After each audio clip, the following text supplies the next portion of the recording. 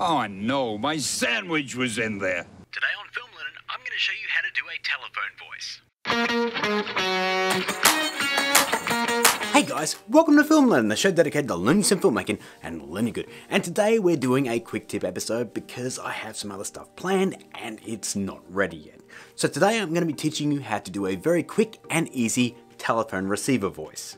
Put that down! Now the only thing you're going to need to complete this effect is a voice and a copy of Adobe Audition. So I'm going to shut up and let's get to work, shall we? Okay guys, so here we are in Adobe Audition and I've got some example audio all ready to go. So let's have a listen to that. Today on Film Learnin, I'm going to show you how to do a telephone voice. So pretty straightforward, just a bit of audio. So this is how easy it is. There's two different ways. Well, the first one is to go up to favorites and just hit telephone voice. Now you can see that that has completely bottomed out our waveform and let's just have a listen to that. Today on Film Learnin, I'm going to show you how to do a telephone voice. Now for me, that is way too low and boosting it, it just makes it sound really, really garbled and just awful. So let's undo that and I'll show you not an easier way, but a better way to do it. First off, we're going to head up to effects, we're going to go down to special and we're going to select guitar suite. Now from there, I'm going to go to supermarket speakers and let's just have a quick listen to that. Today on Film Learnin, I'm going to show you how to do a telephone voice. Now that sounds like a bit of a radio call-in style voice, but it's actually a lot clearer and it's essentially that telephone voice, just amped up a little bit. So what I'm going to do is just lower a couple of settings, just so it's not quite so, you know, fuzzy. So what I'm going to do is I'm just going to bust this one down to say 35%, and I'm going to crank the amplifier, which is set to clock radio, up to 100%.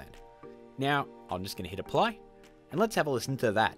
Today on Film Learnin, I'm going to show you how to do a telephone voice. Now guys, when you jump into your video editor of choice and you're having a play with this, make sure that you lower those decibels down a little bit to balance out the fact that it's coming through a phone. I personally recommend anywhere from minus 3 to minus 4 decibels. So let's just quickly do that right now, just to show you the difference. So what I hit minus 3, and let's just have a listen to it now. Today on Film Learnin, I'm going to show you how to do a telephone voice. So there you have it guys, a quick and easy way to do a telephone voice on the other end of a phone. And that, my friends, is a quick tip effect. Mm, done.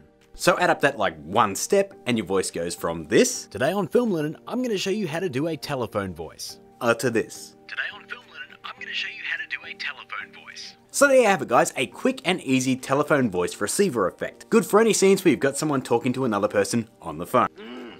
Oh, these cookies! But for now guys, that's all I've got for you. I'm working on a whole bunch of stuff to go up on the channel, thus the uh, quick tip episode. But hey, if you did enjoy the quick tip, why not smash that like button? I really do appreciate it, and it does help out. And hey, if you are new here, we have a whole bunch, I mean hundreds of tutorials on the channel, so why not hit that subscribe button and turn that notification bell on so you don't miss a single film learnin episode. I've got two other episodes right over here, as well as my social media crap, that's all over there. If you want to help support us, you can hit the Patreon button just there. That help pay for that awesome gauntlet we have behind him that I'm working on something for right now. Or you can hit that join button below and support us directly on YouTube with a membership. But until I see you again guys, keep learning!